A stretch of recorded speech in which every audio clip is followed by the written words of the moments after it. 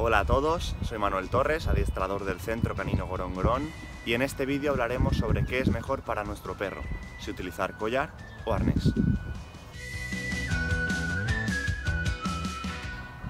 El collar, como todos sabemos, lo colocaremos alrededor del cuello de nuestra mascota y distinguiremos entre tres grandes tipos.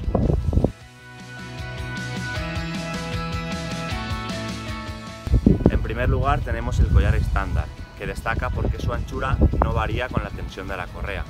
Este collar es idóneo para nuestro cachorro durante sus primeras semanas de paseo, puesto que así no le cogerá miedo ni a collar ni a correr.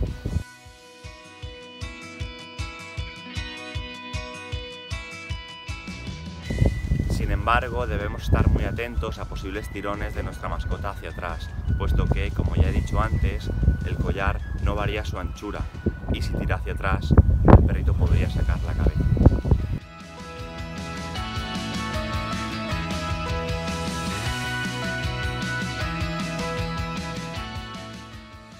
En segundo lugar tenemos el collar de control, es completamente diferente al anterior.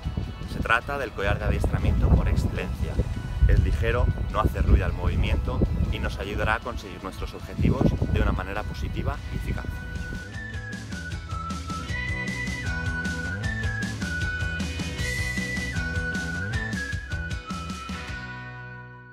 Sin embargo, su uso solamente se recomienda a todos aquellos propietarios que hayan recibido clases sobre cómo utilizarlo.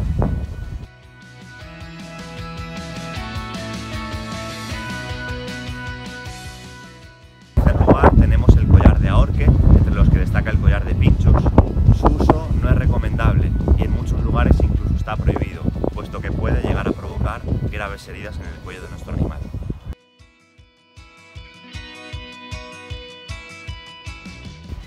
Además, este collar produce un ruido metálico que resulta estresante y que puede contribuir a deteriorar todavía más si cabe la calidad de vida de nuestro amigo.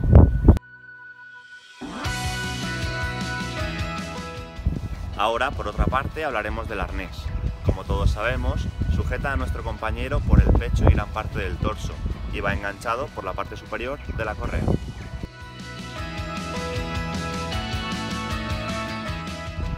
Es aconsejable si nuestro amigo tiene problemas respiratorios o de tráquea o si tenemos un perrito tan pequeño como por ejemplo un Yorkie o un Chihuahua.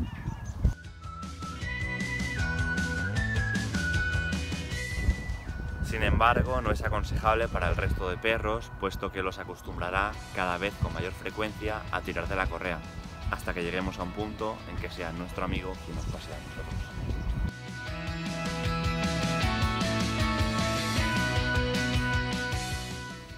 En consecuencia, como bien nos ha explicado Manuel, utilizaremos el collar estándar para cachorros y perros de tamaño mediano y grande. El collar de control si tenemos un perro que nos tira mucho de la correa. El arnés en caso de que nuestro perro sea de tamaño pequeño o tenga dificultades respiratorias.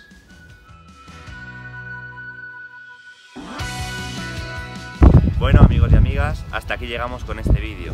Esperamos que os haya gustado y nos vemos en próximos vídeos para hablar sobre otros temas del mundo canino. Gracias y hasta la próxima.